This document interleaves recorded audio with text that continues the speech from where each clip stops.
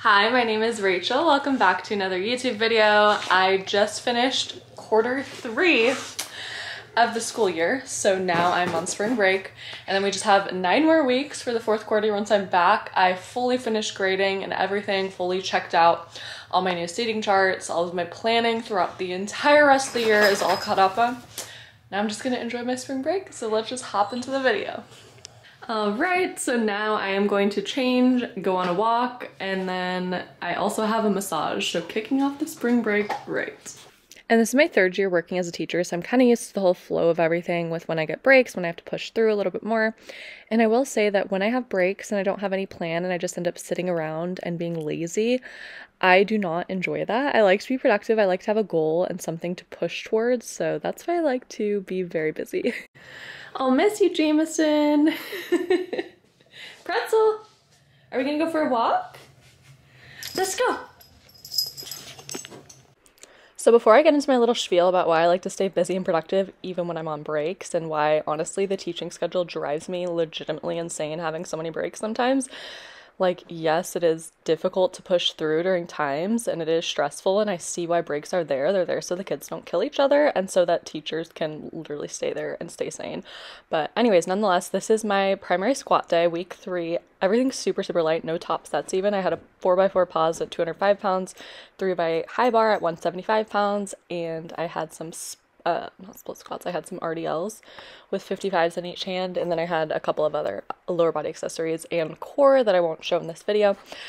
But why I like to stay busy, meaningful, and productive at all points of time is my main driving factor in life is growth. Like with powerlifting, I like to push myself and I like to see that measurable, sustainable progress over time. It's really rewarding, even if I have other goals in fitness, like maintaining good body composition or getting more stable or mobile or flexible or whatever it might be. I like to always be pushing myself. Like, that's why I don't like bodybuilding because it's very minimal changes that you see over time and it's not really very motivating to me.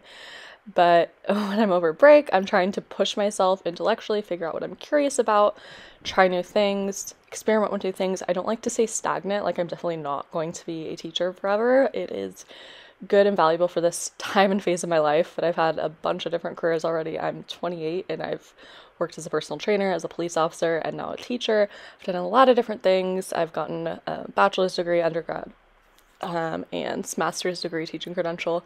But I'm always liking to push myself and decide where I truly want to end up because honestly, I'm not sure. But if I just stay stagnant, don't push myself, I'll never find out. It is already the last day of spring break. It is Sunday and I go back to work tomorrow. I've had essentially the same routine every single day over break, which is I wake up, I do some work pertaining to my job um, for about three hours in the morning, and then I will stretch for 30 minutes, then I'll go to the gym, and then obviously there's eating involved, but yes, this is the last morning of getting to enjoy the relaxation before having to get back on my early wake up schedule. Sadness.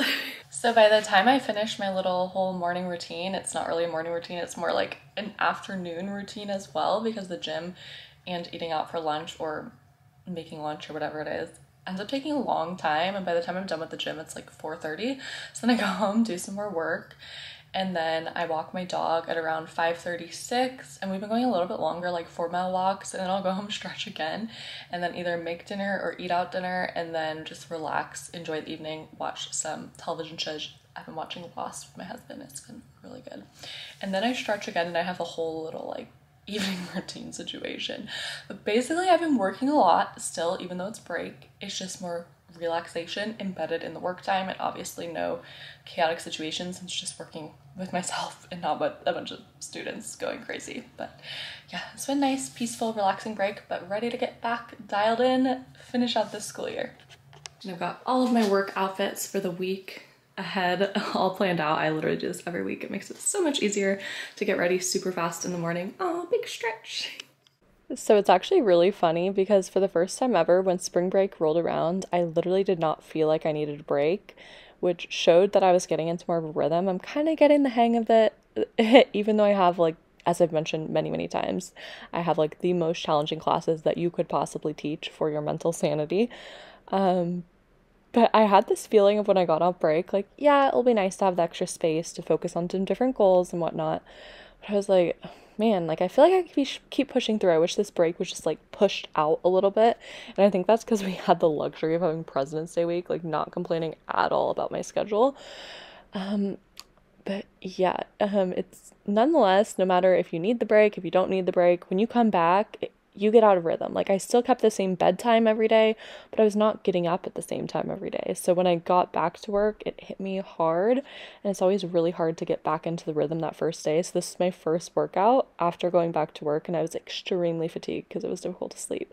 But already by Tuesday, I was already synced in, adapt, dialed in. I'm getting better at like bouncing back quickly, which is nice just popping in for a quick little evening physique update and then getting back into routine update.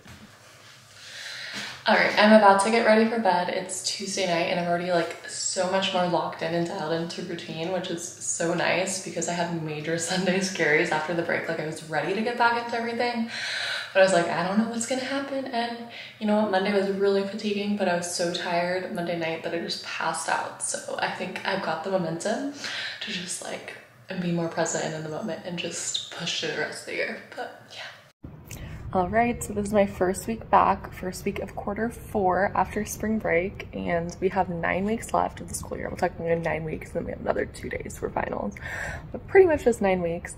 So I have my whole entire plan for literally the whole rest of the year, which is super nice. And the big thing for me is when you're a teacher in California, you basically have to do a year of student teaching, so that doesn't really count as your actual first year of teaching. And then you have two years of teaching to actually clear your credential. There's a whole induction program that you have to do. So I have a lot of data that I have to collect over the next month. So a lot of my month is not so much focused on planning as is on the data collection and what I need to get to have that credential clearing interview in May. So lots of work, but it keeps me busy, it keeps me motivated to get through the rest of the year. So I'll show you some of that right now.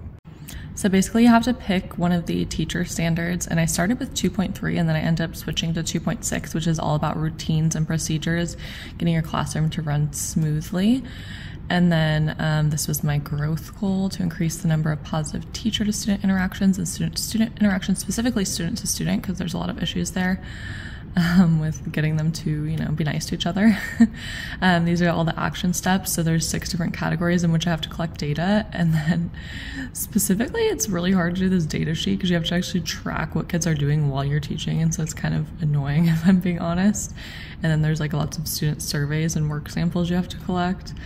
Um, but this is just a very very rough draft of everything. Like I have hyperlinks of all the data I collected. I have this systems project that I did three times throughout the year, which I'm using as student data and also classroom management things that I just added in.